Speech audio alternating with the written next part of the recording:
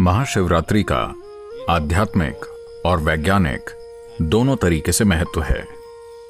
शिवरात्रि का अर्थ है हर महीने का चौदवा दिन, जो कि अमावस्या से एक दिन पहले आता है। एक वर्ष में 12 से 13 शिवरात्रियाँ होती हैं। इन सभी शिवरात्रियों में से वो शिवरात्रि जो फरवरी, मार्च के माघ महीने में आती है, उसे महाशिवरात्रि कहते हैं। ग्रह के उत्तरी गोलार्थ में, उस दिन, इंसानी सिस्टम में ऊर्जा स्वाभाविक रूप से ऊपर की ओर बढ़ती है। हर एक जीव अपने भीतर ऊर्जा को ऊपर की ओर बढ़ते हुए महसूस करता है। इस ऊपर उठती हुई ऊर्जा का केवल वो ही प्राणी सही से उपयोग कर सकते हैं, जिनकी रीढ़ की हड्डी सीधी है।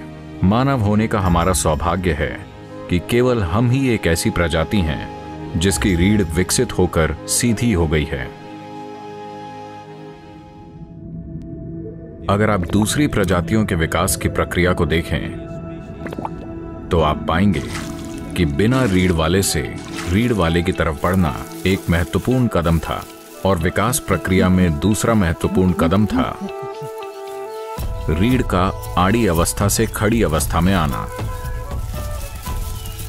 मस्तिष्क वास्तव में तभी विकसित हुआ, जब रीढ़ सीधी हुई।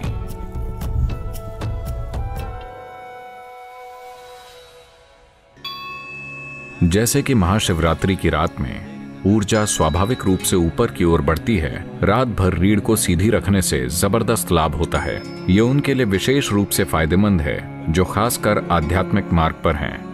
पर यह उन लोगों के लिए भी महत्वपूर्ण है, जो पारिवारिक स्थितियों में हैं। और साथ ही दुनिया में उन लोगों के लिए भी, जो महत्वाकांक्षी हैं, आध्यात्मिक मार्ग पर चलने वालों के लिए, योगियों के लिए। ये वो दिन है, जब शिव अपने भीतर की सभी हलचलों के परे चले गए और पूरी तरह से स्थिर हो गए। इसी दिन, उनकी तीसरी आँख खुल गई और उनका बोध खिल उठा।